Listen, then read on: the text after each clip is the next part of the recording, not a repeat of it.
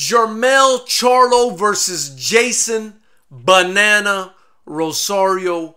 Who wins this fight? Knuckleheads, welcome to the prediction and welcome to the Fighters Rep, where we give you free fights, interviews in the fight game, and fight commentary from the mind of a promoter slash attorney. You know, we talked about Jermall's fight in the last video. A lot of you left comments. Some of you wanted to know what I thought about Jermell's fight against Jeison Rosario, the very tough, very gritty brawler out of the Dominican Republic who seized the WBA, the IBF, and the IBO middleweight titles from Julian J. Rock Williams back on January 18th, 2020. It's hard to believe that that fight happened this year with this crazy lockdown we've got going on. But a lot of you wanted to know what my thoughts were on this fight. I think this fight for me is a bit simpler to deal with than the Jermall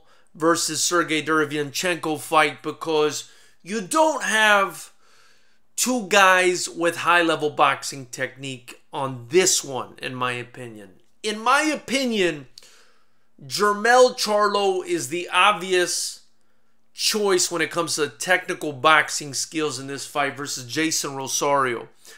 Jeison Rosario to me is a banger. He's a brawler. He's a guy who comes forward. He tries to take your cookies. He gives you the banana split, hence the nickname Banana. Actually, that's probably not what it is, but you know. Typically, the Dominicans I know, their nickname is Plátano or Plantain, but this guy's Banana. But I digress. This guy comes at you and he tries knocking you out.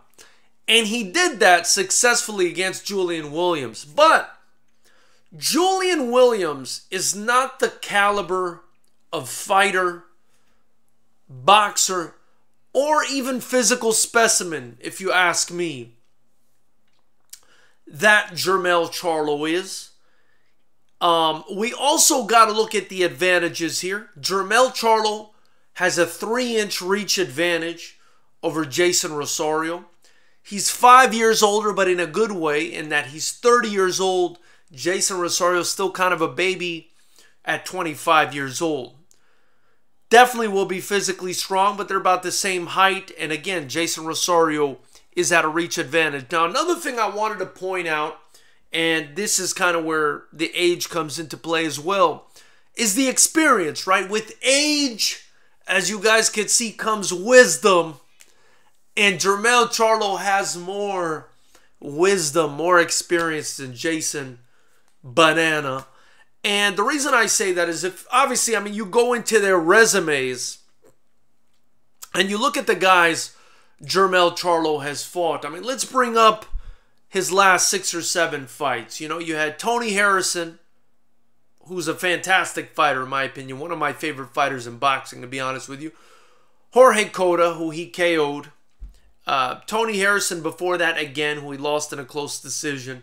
Austin Trout, Erickson Lubin, who he finished in the first round, a very Erickson Lubin, a very impressive Erickson Lubin, who, you know, got by a very good Terrell Gausha last weekend.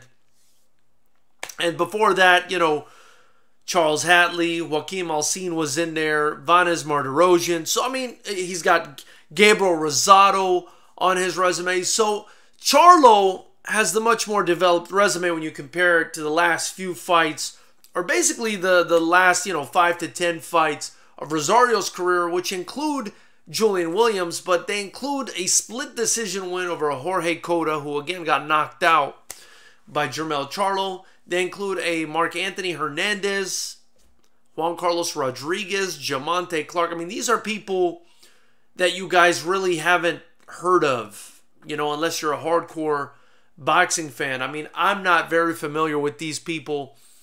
Um, definitely from the mainstream. I mean, if I've heard of any of these names, because I really closely follow combat sports.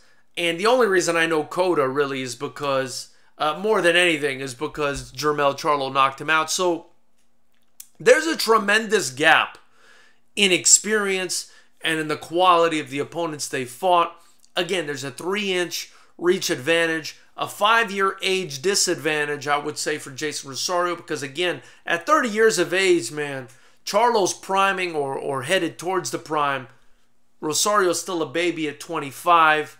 Um, he's lost before to a Nathaniel Gallimore. Mark Anthony Hernandez, uh, you know, fought him to a draw. I mean, Jermell Charlo only lost to Tony Harrison in a very good fight. And Tony Harrison is levels beyond the guys who, you know, handed Jeison Rosario his loss and draw. So, I mean, I think that speaks again to the technique, to the skill, definitely being on Charlo's side. I'll also say this. While Jeison Rosario's best attribute is his physicality, I believe that Jermell Charlo is also a very sturdy physical specimen. And so if that's what you bank on to win, being aggressive and being physical, and you're going up against a technician who's as big as you with a longer reach and also physically strong, I, I don't think it bodes well for Jeison Rosario. So, you know, knuckleheads on this one, that's what I'm seeing. My prediction on this one is we get two Charlo wins on Saturday night, and for dessert, a banana split. Uh, hopefully with you know peanuts and sprinkles and everything everything fun on top. Um, that's what I'm thinking on this one, knuckleheads. I would love to hear your thoughts. Who do you think wins this fight, Rosario or Jermell Charlo? Now, again, I give that prediction, and I want to say I do think Rosario obviously has a chance to win. Big puncher, very physical, comes forward. But I just don't see him getting the job done with uh, Jermell Charlo. I do think, excuse me, that the that the uh, Charlo versus Derevyanchenko fight will be much closer, or should be much closer than this one. But who knows? Maybe we'll get a surprise in this one as well. Rosario is a very uh, physically strong specimen, uh, physically strong specimen, and what I do know for sure is I think we're gonna have a fantastic night of boxing on Saturday. These are two great fights, and we always get that in boxing. So, knuckleheads, tell me what you think about this fight.